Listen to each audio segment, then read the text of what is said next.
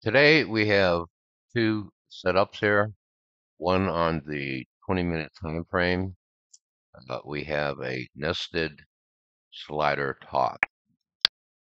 You can find the slider relatively easy.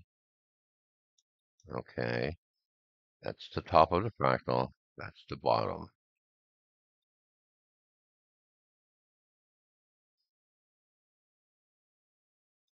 The other setup is this one here on the 30 minute time frame.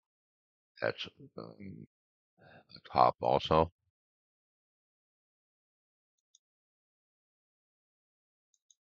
You have the top here, and you have the bottom here.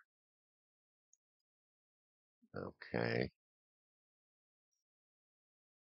Uh, the other time frames. Oh, we had a terrific uh, midnight turn.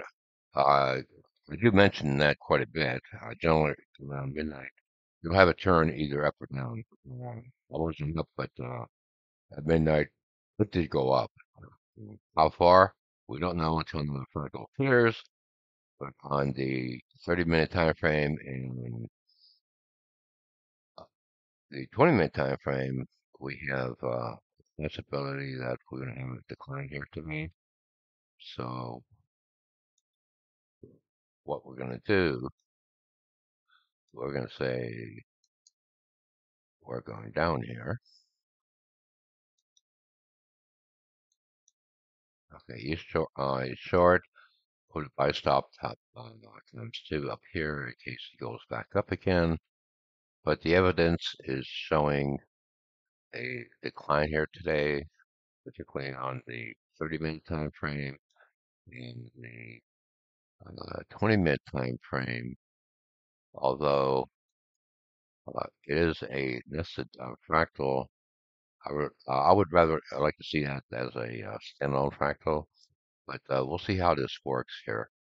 So today, 20 minutes, you know, 30 minute time frame, the slider.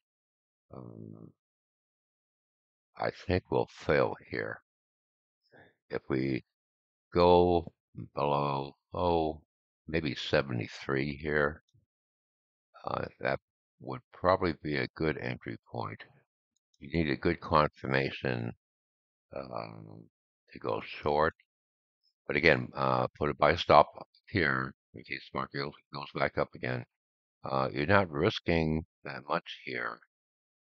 Um, you probably want to concentrate on this one here. Okay, um, 76.